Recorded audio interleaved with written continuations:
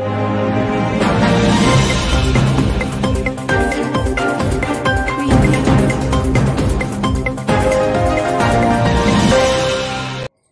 दोस्तों, मैं पुरुषोत्तम प्रजापत स्वागत करता हूँ आपका केटीएस न्यूज़ चैनल में। आइए नज़र डालते हैं आज की कुछ ताज़ा खबरों पर।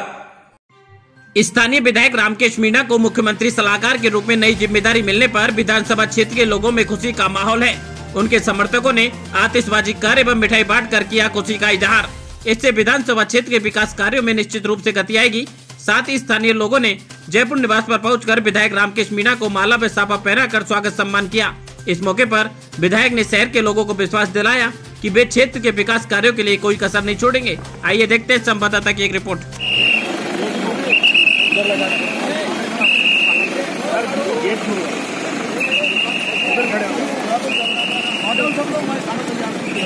हाँ आ जाओ। घड़ी आओ। घड़ी ठीक है ना?